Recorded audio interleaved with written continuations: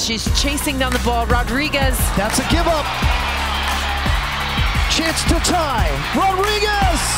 Now that is a team effort. Anika Rodriguez. We said it. Stamina, pace, endurance, skill. She stepped on the field to make a difference tonight, and she has. Anika Rodriguez is their lightning speed.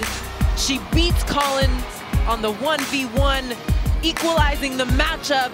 UCLA must score to finish second. That's all that's out there for them now. A draw does nothing. Dunphy. Rodriguez. Game winner. Got it. Bruins win. And the Bruins rushing the field. This is the kind of excitement you feel with a golden goal.